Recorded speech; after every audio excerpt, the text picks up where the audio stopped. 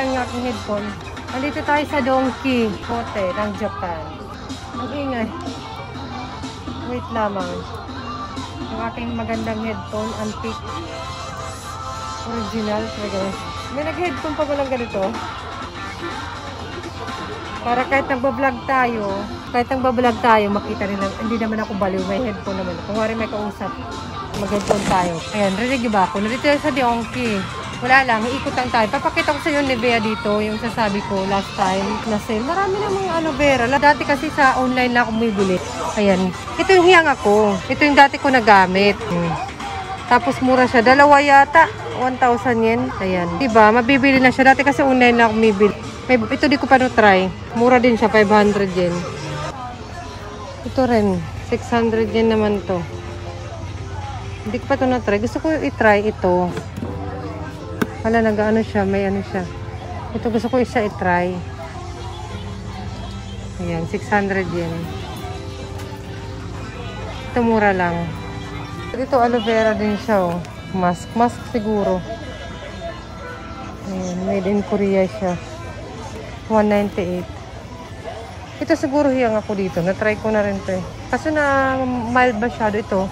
Sikat din to eh, di ba? Hatsumugi skin conditioner. Siguro hiyang ako dito kasi mild lang. Andito yung Nivea na. Ay, ito.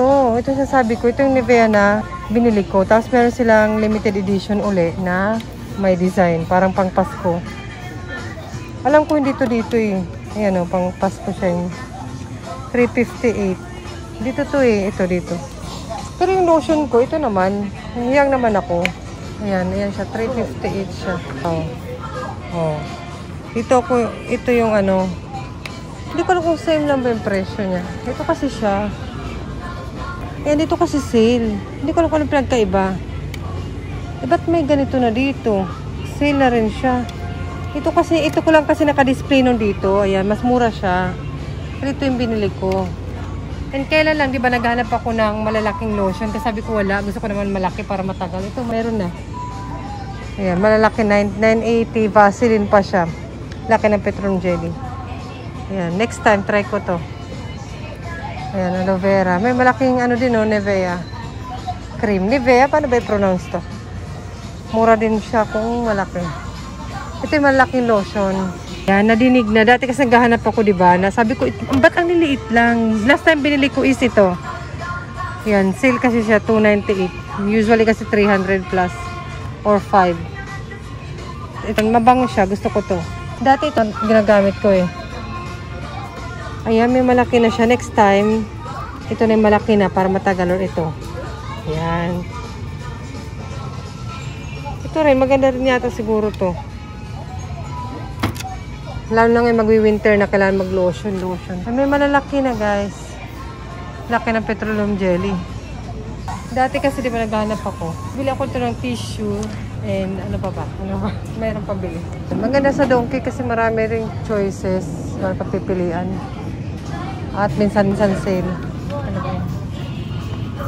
Bibili ako tissue. Yung paalam ko kay Papa, bili ako tissue. Sabi ko kay Papa, punta ako ng donkey saglit lang. Sabi niya, for what? For what daw? Ano ba yun? Pag pupunta ng donkey, ano, mag-vlog. Pwede mag-vlog. Ano, bibili ng tissue, sabi ko. So, bibili lang ng tissue. tissue yun talaga eh. Bibili naman talaga ako, yan o. Ito, strawberry, yung gusto ng anak niya. Ayaw niya bilhin ng... Mura lang kasi dito, 328. Tapos, eh, ano na siya, ganyan o. Marami naman. Ayan, ito rin. Ang mabigat. Ito. Kayo, anong gamit yung tissue? Comment down below. Pero marami pa pipilian dito. Baka makalimutan ko rin. Ito, ito, Halloween edition. Ay, hindi ko siya bet. Mahal yan kasi magaan lang. Marami naman choices. Nung kasi, yung malapit kasing drugstore sa amin, konti lang yung papipilian. Tapos parang mahal. Sige na nga lang. Yan kasi bili ko dati. Ito kasi, 24 something yan yung ano niya, 18 rolls. Ito rin, 48 something. Oh, parang ito na lang. Yan. Um, yung mga diaper, graduate na kami dyan. Ako na lang yung mag-diaper. Sabi ganun. Minsan may nagpo-comment sa akin. Nagtatanong pag may vlog ako dito sa Donkey. Tinatanong kung okay lang daw ba mag ganito vlog-vlog, ganun. Okay lang naman. Huwag ka lang magpalat. At parang dito, wala naman masyadong tao. Para wag ka ba maka-istorbo din, wag naman dun sa maraming tao. Tsaka phone lang kasi gamit ko kaya hindi halata para may kausap lang ba ako. Tapos tawa ako ng tawa. Dadal ko pa. Kita mo ng packaging. Nag-graduate na tayo dyan, doon man tayo sa iba. Mga pagkain. Anong madalas yung binibili sa Donkey? Guys, yung mga nandito sa Japan at yung mga nasa Pilipinas, pag pupunta kayo ng Japan, yung mga nakapunta ng Japan, anong binibili nyo dito? Sabi ganun, comment ang below. Sabi ganun. Kapag makapagtanong naman ako, kala mo naman mamimigay. Malay mo, may makarinig. Sabi ganun. May mag-sponsor ng pampagiveaway. Ay, mga ano siya, limited edition kasi maraming mga limited edition something. Mga ganito. Chocolates. Wala lang, samahan nyo lang ako mag-ikot dito. Yung parang sa ano, beef bowl, pag nakakain na kayo sa Sukiya, something. Ito yung parang ginger nila. Gustong gusto kong itry guys ito. 198 siya. Ano siya, chicken skin ata. Pangpulutan. Ay, Halloween na talaga. Ayan, o, di ba? Advance ang Japan. May ganun. Lagi yan sila advance. Saka mga costume, costume. Ayan, wala namang Halloween, Halloween party ngayon sa school or sa friends kasi nga dahil sa pandemic. Tinan nyo.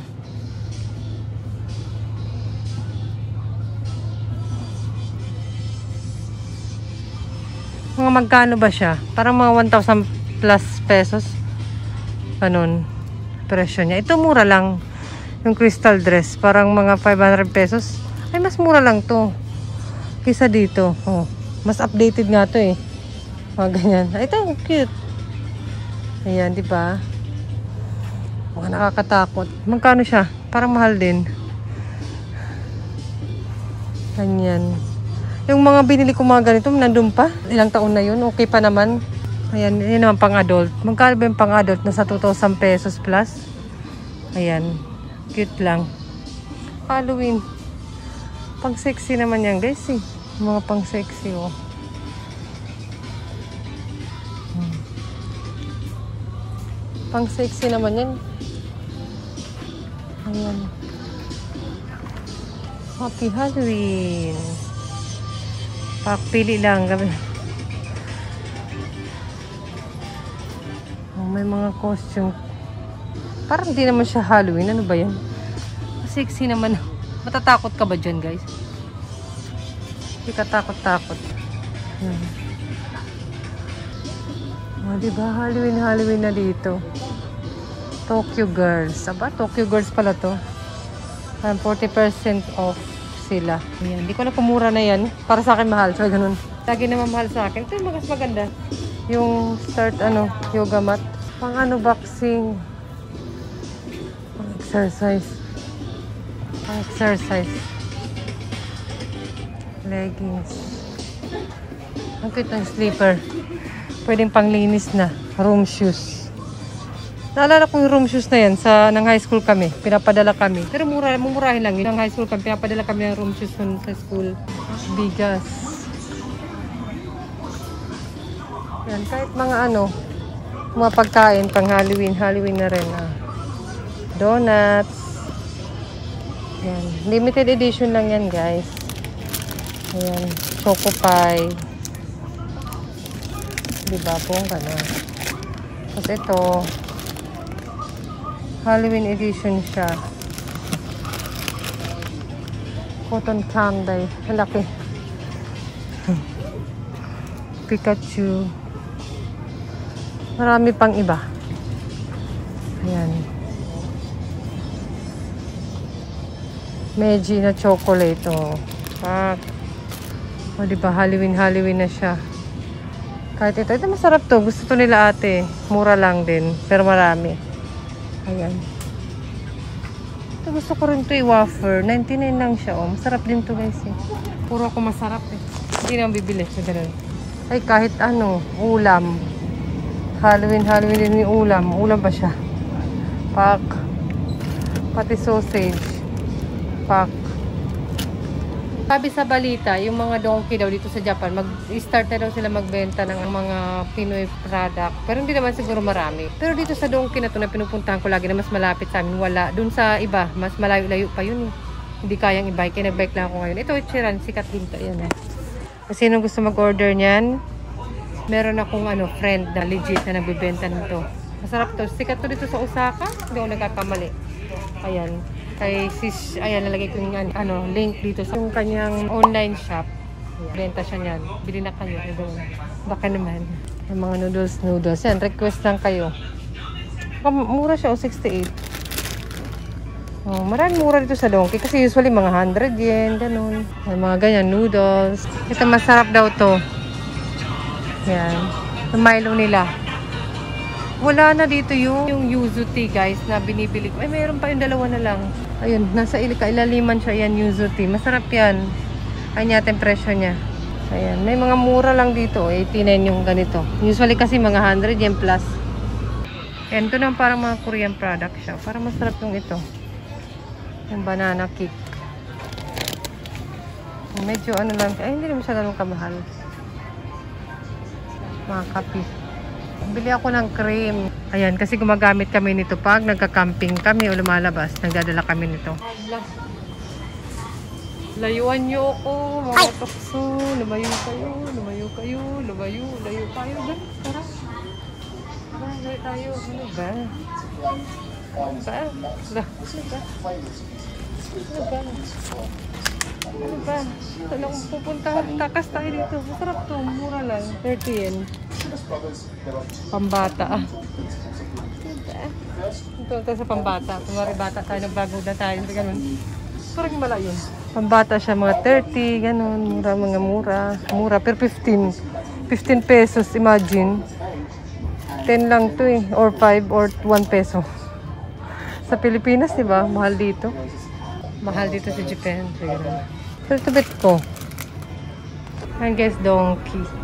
Marami siyang ano, sa labas din ni sale. Parang ito. 100 yen. Mga lotion. Ay, hindi siya automatic nagbabukas. Ayan. 5 a.m. ata na po close to dito. No, nagbike lang ako. Tara na. Gabi na eh. Katapos ko lang maghugas ng plato and mag-prepare ng bat nila. Donkey. Let's go. Uwi na tayo. Gabi na. Yun lang. Salamat sa pagsama sa akin. Uwian na. Tara.